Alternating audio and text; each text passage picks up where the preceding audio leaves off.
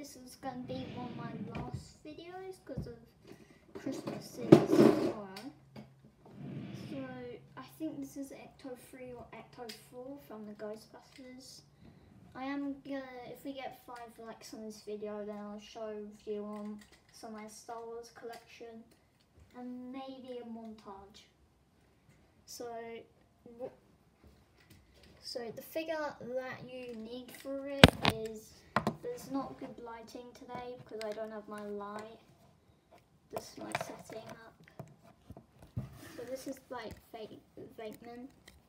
His head goes up. It has started to get paint. It has got someone's. Yeah, I got this one on eBay. Then this is the vehicle. It's actually really big. It's quite compared to my hand, it's like that. So it's quite, it's quite big. On camera, it looks smaller. Okay, so you you put this back, that back, then you put rest them in. That holds them in place. It, it doesn't actually fit perfect, but the advert. Then you flick these, so it gets stuck sometimes. Um, then that's the symbol. You press these, and they do that. I do have the ghost form.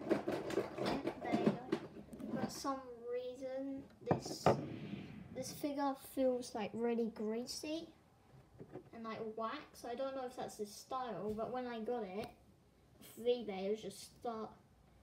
I'm trying to fit colours in if it is actually wax. So you put them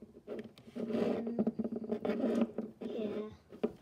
You it. Does work quite well. You can see if it goes like that, but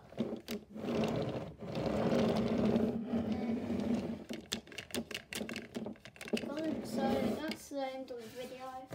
I'm trying to get comments on so you can get free shout outs. So bye.